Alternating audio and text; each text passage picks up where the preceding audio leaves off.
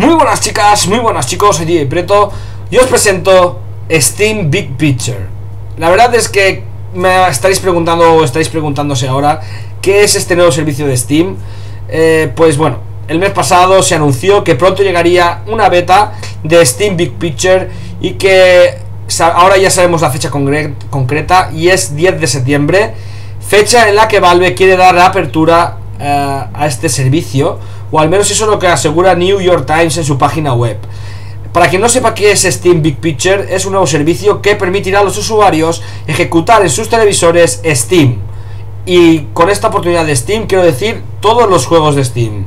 Gracias a una interfaz específica para facilitar la navegación en la televisión y además soportará mandos.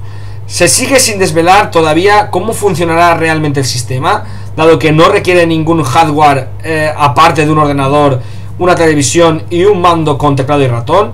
Bueno, y un mando y teclado y ratón, ¿vale? Así que este servicio promete muchísimo, ya que podremos utilizar Steam en nuestra televisión.